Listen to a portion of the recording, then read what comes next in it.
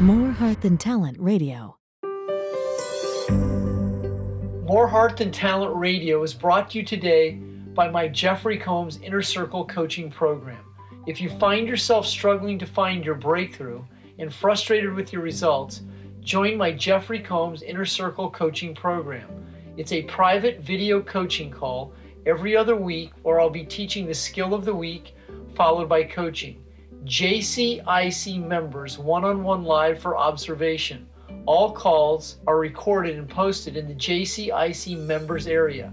Members will have access to the private JCIC Facebook group where they can ask questions, interact with me, my Golden Mastermind team, the other JCIC members, and receive any support required in their breakthrough process.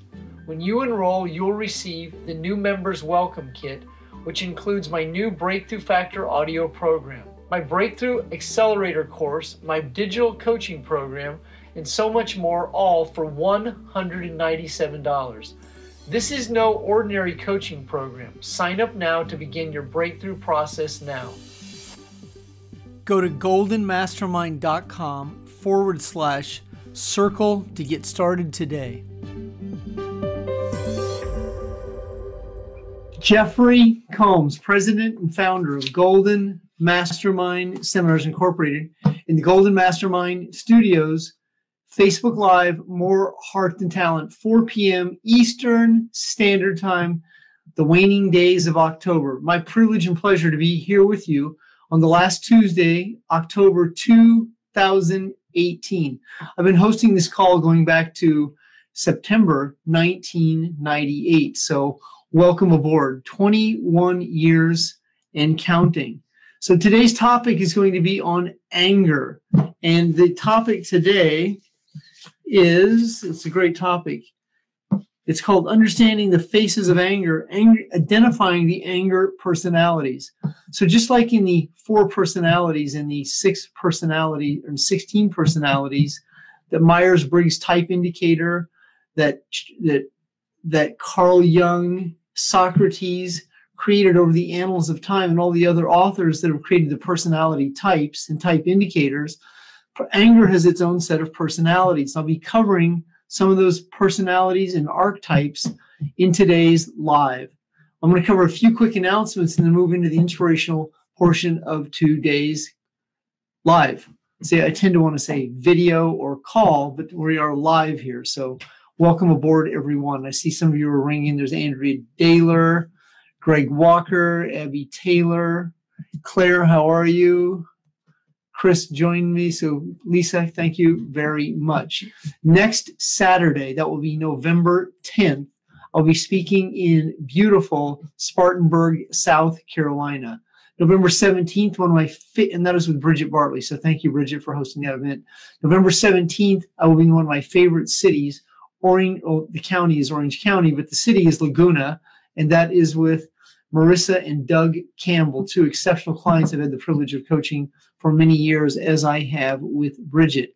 Then we have the beautiful Thanksgiving weekend, a weekend to be grateful, and I'll be right back in it in Saddle Brook, New Jersey with Diane Hunt.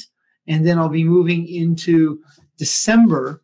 I will be in Atlanta, Georgia, and that will be hosted by my very, very good friend Carlotta Davis. December 22nd, I'll be in Tarrytown, New York, and wrapping it up in Los Angeles, California with Brittany Cara on December 29th. So those are some of the speaking engagements where you can see me live, and I am in the flow today, baby. ITF. So if you are listening to the content today, it's going to be ITF and ITZ in the flow and in the zone. In the flow, in the zone. Now, what does that actually mean? It means the hands free zone means that there's no hands on. You're out here. You're out here in the in the not in the periphery, but you're in the moment, you're in the game, you're in the process, you're in recovery, you're in consciousness, you're in awareness, you're in knowing, understanding, and you're in a very high evolved state of energy. And it's that energy that you'll attract your reality, people and situations to fulfill your feelings. Now, if you're seeking unique insight on how to break through, how to be hands free, how to be in the moment, and separate your feelings from the events that shape them, I routinely offer 20 minutes of free one on one coaching. Now, my coaching specializes in cause and effect, separating your feelings from events, and some of the very content I'll be covering today. So, if you're seeking some insight immediately and have not taken, have not accessed a free 20 minute coaching session or considering hiring me to be your coach, inbox me on Facebook with your phone number, and I will return your phone number relatively quickly. That is the ASAP zone as soon as possible. And moving into today's content, we're going to move into the content of the personalities of anger. And one of those prevalent and common personalities of anger is a term I coined myself. This isn't something I borrowed from another author, but I call it the angry giver. Now, who and what is the angry giver? The angry giver is a personality that tends to over obligate, do more for others, with a sense of entitlement, wanting a reward and a recognition, usually from force in a counterforce situation where their their personality is derived by giving. And many people walk around saying that they're a giver, which being a giver is a good trait, but it depends on what giving means. If you pride yourself in being a giver and have challenges receiving, then you're going to be out of balance with the whole situation. But if you're giving from contribution and giving from the spirit of loving it and not expecting reward in return, that's a different energy than if you're giving because you want recognition. And many people give from recognition, then they're angry because they don't get the recognition they feel they deserve. Also, in that same energy, many people give and then they're disappointed that they don't get recognized or they're not where someone else and they compare themselves to where someone else is.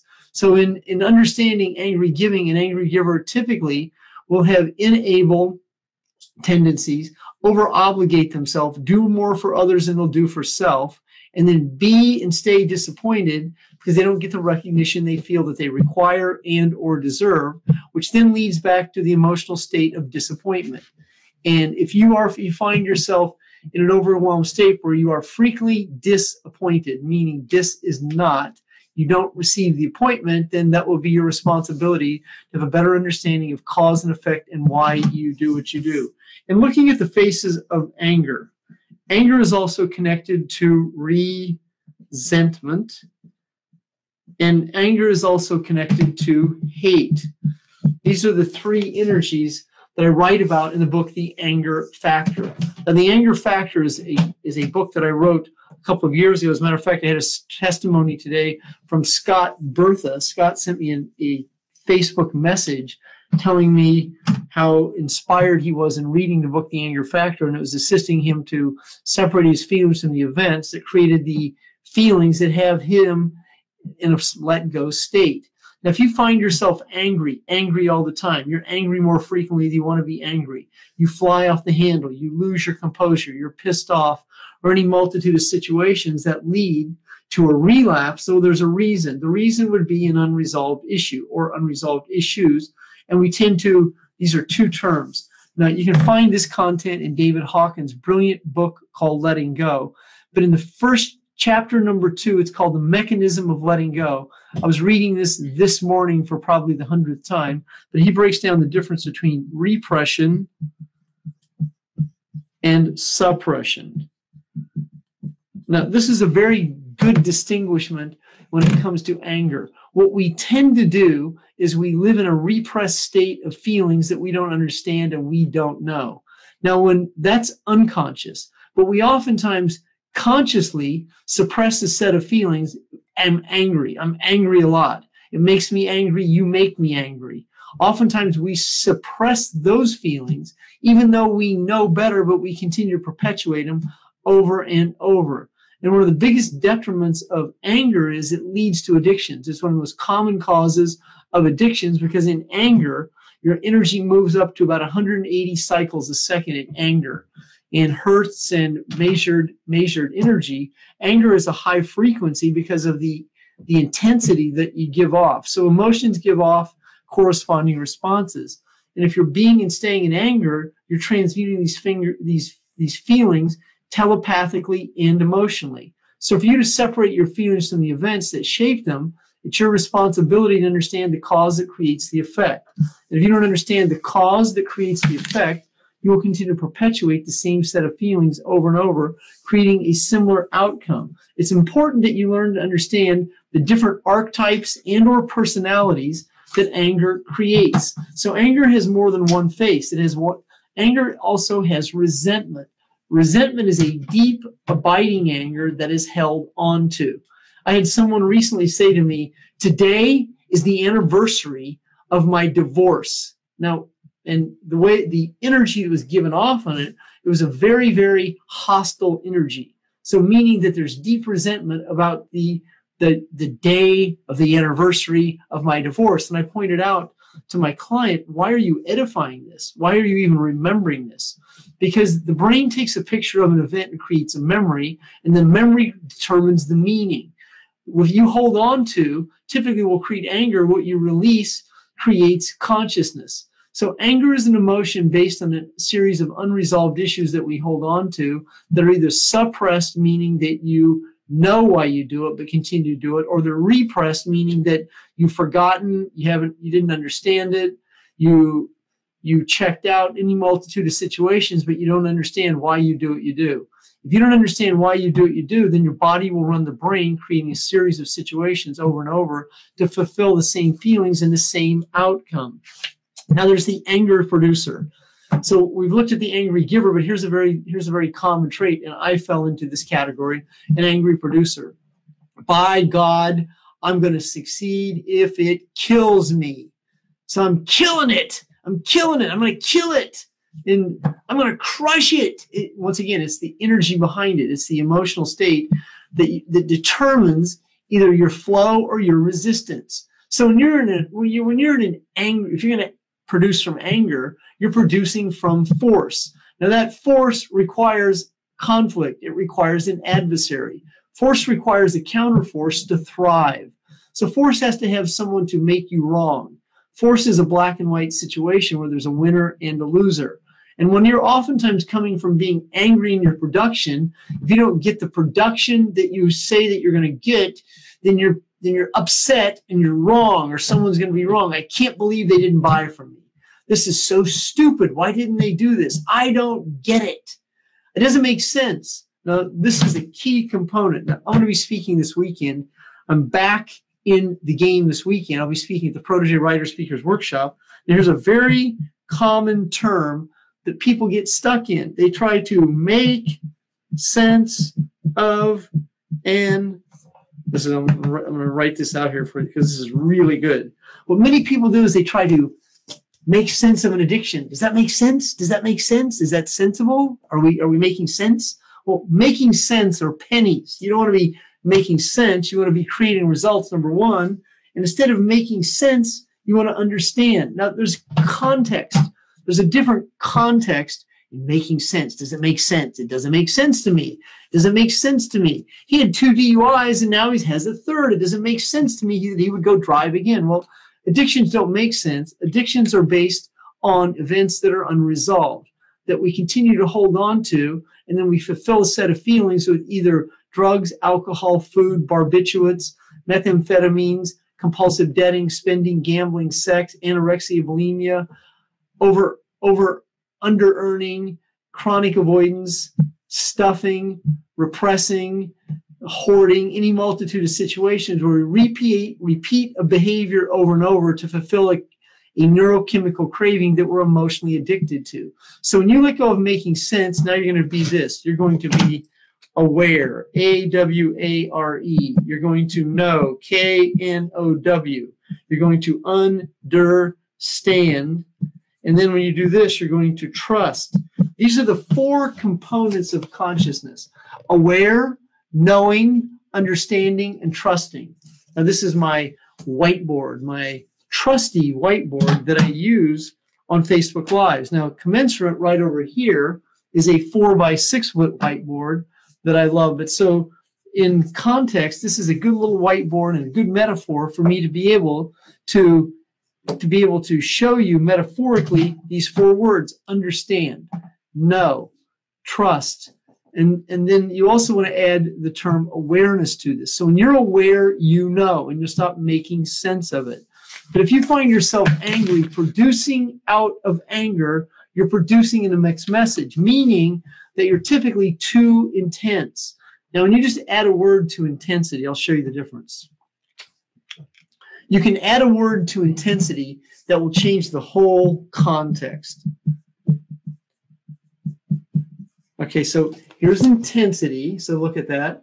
This is in a black and white world.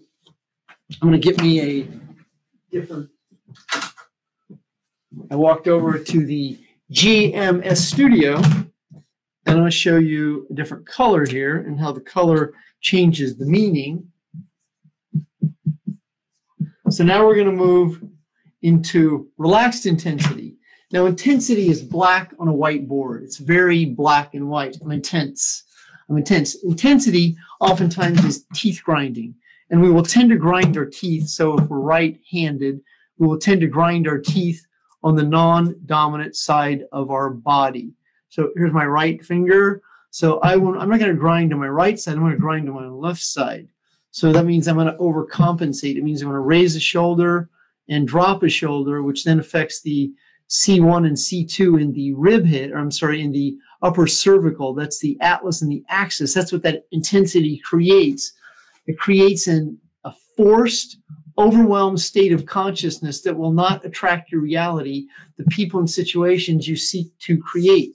What you end up creating in this type of energy and in angry producing and angry giving is you end up attracting the very situation you seek to avoid to fulfill the feelings that keep you emotionally addicted. Now, I added a different color to relaxed intensity. So this is no longer a black and white issue. Just by adding a different color, blue, which is a softer color, and that's not navy blue, which is a darker color. That is a cobalt blue. So this this is black, and this is white, and this is blue and white. Now, blue and white together creates a different color scheme. So when you just when you just in adding a different color, it means you're adding a different perception, and your perception unequivocally will create your reality. So I have black sharpies that I write with, but I also have blue sharpies that I write with because it changes the context of the meaning of the word. So the way that your brain sees a situation determines whether you're in fight or flight or whether you're in consciousness. It will determine whether you're in intensity or relaxed intensity. It will determine whether you're in anxiety, fear, and doubt, or whether you're in consciousness. So for you to be and stay in consciousness, it's not a how do I state, it's an I am state of awareness that you're aware of the word choices you use in your sentences. I hosted a coaching call just a few minutes ago, and the words kinda, sorta, if I had to say, these are common words that the American populace uses frequently over and over to be and stay non committal. When you're no longer the mind body connection to the events that shape the feelings, when you are you and I am free, when you are you and I am free, then you can separate your feelings from the events. But when you continue to hold on, when you're in the hands on zone, when you want to control the outcome, you're in anger. When you get upset very easily. I can't believe this. This always happens to me. I always forget people's names. See, the way you communicate determines your outcome. It's very difficult to create leads in today's world. With what's happening with Facebook, what's happening with Instagram, what's happening with what's happening, what's happening, this is the way many people communicate with themselves to fulfill their feelings of low esteem. When you're no longer the mind body connection to these events, you can separate your feelings from the events, now you're elevating consciousness. That means that means on any given day, David can beat Goliath. And for you to beat David, you have to compete differently. You're not competing to win, you're competing to be your best. When you let go of this win lose dichotomy, the black and white dichotomy, if you don't win, then you lose. Well, you can't operate like that because that's what creates anger. If I don't get my way, then I'm going to brood, I'm going to pout, I'm going to be sensitive and defensive. Now, that oftentimes is the anger procrastinator. The angry procrastinator tends to be angry that they're not where they should be. I can't believe I'm not where I should be. Well, the angry procrastinator is an angry avoider. It means that they have entitlement issues. They expect to be somewhere that they're not willing to devote the effort to. And if you find yourself in this situation, well, you want to be objective, honest, and open without being critical. One of the ways that you neutralize your anger is by understanding the cause that creates the effect of it. Most anger is, is a direct reflection of violations that happen either physically and or emotionally that you don't understand and not let go on and continue to perpetuate the same set of feelings and attracting similar results to fulfill those feelings that keep you feeling abandoned and rejected. Yes, I'm crushing it today. So we're going to move over to the passive aggressive anger perpetrator. Now, this is the person that's often confusing because one day they're friendly, they're warm, they're lovable, and the next day they're angry, they're upset. They're putting you in a position that you have to explain, validate, and justify yourself. They're putting you in a position that you are, they're making you wrong. You did something that they don't understand. They fly off the handle or they're loving. These are the unpredictable anger types. These are the people who are confusing oftentimes we have one of these people in our family, then we end up dating, mating, or marrying one of these people. It's your responsibility to understand this, to neutralize this personality or any personality. It's not to be seduced by them, not to be intimidated by them, and not answer their questions and feel threatened by them. What you're going to be able to do is learn to, instead of answering a question, ask them a question in a very relaxed body. So you're not the mind body connection to the unresolved issues based on past events they continue to feel anxious about making a mistake, getting in trouble, saying the wrong thing. These people tend to intimidate a large percent of society. They are oftentimes misunderstood. They don't even know how angry they are. And they tend to create problems and are shocked. They're shocked if you ever point anything out to them, or they're shocked if you call them out. They're shocked. How dare you? I'm a really good person. They come that from that in their passive personality side, not understanding that there's a deep, dark under underside to their anger, and they live in this mixed message. Per, they become perpetrators and lovers, so they're, they're very unpredictable. And these are the type of people you worry about on the way home because you don't know who's going to show up. Yes, this is good content. So the then there's the victim blamer. This is the person who's the chronic victim. This always happens to them. I'm not going to spend a lot of time on this personality because you already know some of this. This is the kind of person who has to be heard. They have to tell their story. They do a lot of talking and explaining. This always happens. This is woe is me, baby. And this is the kind of person you want to get out of the conversation ASAP. These are the kind of people that find the flaws. There's always something wrong with the product, the service, the benefit, the feature, the upline, the downline, the cross line, the bottom line, the line of lines, because they're going to find something wrong with it. Separate your feelings from these people the angry entrepreneur, another entitled personality. This is the type of person, by God, I'm going to succeed if it kills me. This is also the type of personality that has expectations bigger than their habits. This is the kind of person that I'm going to kill it, I'm going to crush it. These are the kind of people that go to the seminars, the rallies, the conventions, and they're going to go home and freaking crush it. However, on Wednesday, they're overwhelmed. And these are the type of people that educate themselves and medicate themselves, and they're getting ready to get ready, never really taking into actualization the action required to create the result. And then, last but not least, how to release your anger as an identity. Now, this is a skill that I have developed over a long career. Now, I was not always good at this. I pride myself in this. First of all, I've learned not to make someone wrong. That doesn't mean that I just suck it up and let people be right, but I'm not going to enter into conflict when it has no value. And there are many times where I will disagree with someone, but not not make them wrong about it. And there's certain times you just learn to walk away. So when anger rises up, it tends to rise up from your abdomen. Your anger tends to also show up in your facial features, and it also tends to show up in your teeth. You tend to grind, or any other ways. You also tend to get tense and tight you tend we will tend to drop a shoulder and raise a shoulder, go into fight or flight. So anger, anger typically is fight mode. It's not flight, it's fight. It means you want to stay there and you want to have a conflict. Now, if this is you, learn to breathe into the feeling because that separates the neurons that wire and fire that form a feeling so there's no longer a shelf life to that emotional state. To let go of anger is to understand it. To let go of anger is to release it. To let go of anger is to understand the cause that creates the effect. of why you do what you do.